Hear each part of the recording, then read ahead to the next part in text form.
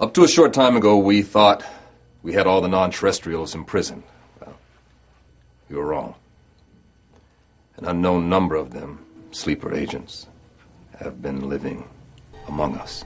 He realizes that just releasing people because you feel it's not the right thing to do from a moral perspective or it's not the American thing to do, that's great in theory and hypothetically, but the reality is, and this is what he learns, that these people are dangerous. No. Sophia, the leader of these people, has lied to him.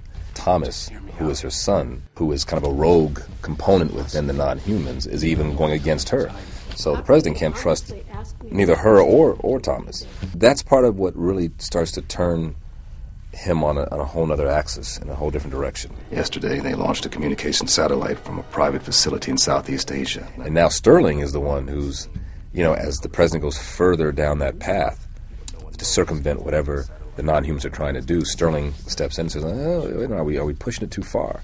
So uh, it's great to see posi- positions and, and, and um, directions shift. You lied to me, Mr. President. Virginia Madsen plays this senator from Alaska, attractive politician. She learns, because she's from Alaska, about this detention facility where these, these non humans had been kept. She doesn't know who was kept there. And she starts to uncover documents about this place that we know of as Inostranka. She starts asking questions. So she very much becomes that nemesis to the president because she's pushing his buttons and she's getting under his skin because she wants answers.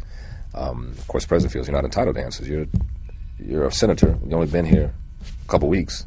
Me pushing my buttons. What are you talking about?